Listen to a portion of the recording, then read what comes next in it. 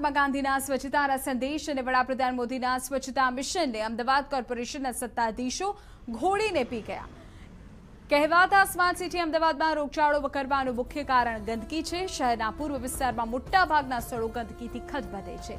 ગંદકીથી તરબતર આવો જ એક વિસ્તાર એટલે હાટકેશ્વર. જ્યાં સ્મશાન ગૃહ પાસે લોકો રસ્તા પર ગંદકી જ ગંદકી જોઈ રહ્યા છે. ગટરો ઉભરાય છે. આ વિસ્તારમાં પગ મૂકો તો એમ જ થાય કે આવી ગંદકીમાં કેવી રીતે રહેવાય?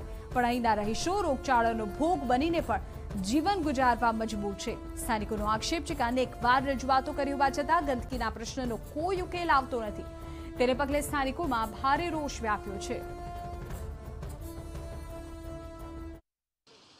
અમદાવાદ મ્યુનિસિપલ કોર્પોરેશન અનેક વખત સ્વચ્છતાની વાતો કરે છે, પરંતુ સ્વચ્છતાની વાતો હંમેશા પોકળ સાબિત થતી હોય છે. હાલ ટીવી નાઇનની ટીમ આવી પહોંચી છે અહીંયા હાડકેશ્વર ખાતે, જે સ્મશાન ગૃહ છે તે વિસ્તારમાં એટલી ગંદકી છે અને ગંદકીને લઈને જે રીતે ડેન્ગ્યુ છે, ચિકનગુનિયા છે, આ તમામ રોગચાળાઓ ફેલાતા હોય છે અને ચોમાસા બાદ જ્યારે પાણીજન્ય અને મચ્છરજન્ય જે રોગચાળોમાં વધારો પણ જોવામાં મળી રહ્યો છે, તેવામાં મ્યુનિસિપલ કોર્પોરેશન તંત્ર ગંદકીને દૂર કરવામાં ક્યાંક નિષ્ફળ નીવડ્યું હોય તેવું લાગી રહ્યું છે. સ્થાનિક લોકો આપણી સાથે જોડાઈ ચુક્યા છે.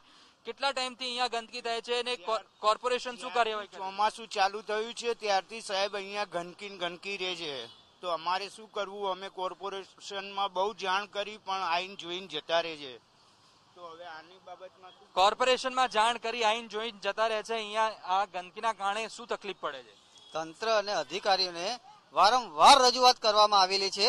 પણ સમગ્ર વિસ્તાર જે પૂર્વ વિસ્તાર છે ખોખરા હરિપુરા અને હાટકેશ્વર જે વિસ્તાર છે એ ગંદકીથી એટલો ભર- ભરેલો છે કે સામાન્ય માણસ બી અત્યારે આજે સમસ્યાનો જે ભોગ બની રહ્યો છે અને રોગચાળો ફેલાવાની પૂરીપૂરી શક્યતા છે. અહીં મહેશ્વરી સોસાયટી છે, પછી પાછળ આરતીનગર છે, અહીંયા સ્મશાનની બહારનો જે રસ્તો છે, મેન રસ્તાઓ છે એ ભયંકર આ ગંદકીથી ભરાયેલા છે અને લોકો બહુ ત્રાહિમાન છે.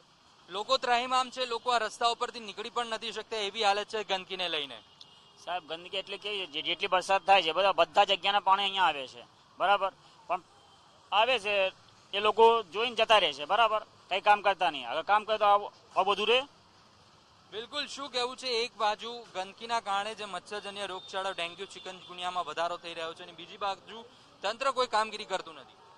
અમે તો એકસો પંચાવન ત્રણસો ત્રણ ઉપર કેટલી કમ્પ્લેનો કરી છે. અહીંયા આગળ ખાલી જ છે થોડો કચરો પડ્યો તો એટલો ઉઠાઈને જતા હતા. બાકી ગંદકી એમને જ છે.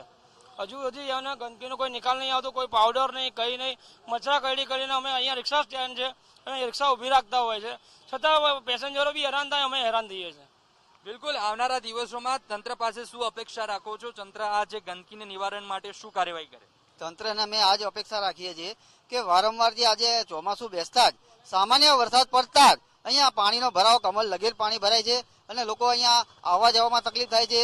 અને એનાથી જે ગંદકી બી ફેલાય છે અને લોકોને અત્યારે રોગચાળાનો જે સામનો કરવો પડે છે, એ અને અપેક્ષા અમે રાખીએ છીએ સરકાર પાસેથી અને આનાથી જલ્દી નિરાકરણ લાવે એવી અપેક્ષા રાખીએ બિલકુલ, તો સ્થાનિક લોકોનું કહેવું છે કે તંત્ર હવે આ ગંદકી દૂર કરે અને જે રીતે હવે રાષ્ટ્રપિતા મહાત્મા ગાંધીજીની જન્મ જયંતિ આવી રહી છે, તેવામાં તંત્ર જાગે અને આ જે ગંદકીઓ છે અમદાવાદ શહેરની અલગ અલગ વિસ્તારમાં જે ગંદકી છે તેને દૂર કરે, જેથી કરીને લોકો એક બાજુ કોરોના છે, બીજી બાજુ ડેન્ગ્યુ ચિકનગુનિયા આ તમામ પ્રકારની મહામારી, તમામ પ્રકારના જે જે ખતરાઓ છે તેનાથી પીડાઈ રહ્યું છે અને હવે આ ગંદકી દૂર કરીને લોકોને જે પાયાની સુવિધા છે તે અમદાવાદ મ્યુનિસિપલ કોર્પોરેશન તંત્ર આપે તેવી લોકો હવે માંગ કરી રહ્યા છે. કેમેરામેન હિરેન ખલાસ સાથે પાર્થ, મોદી ટીવી નાઇન, અમદાવાદ.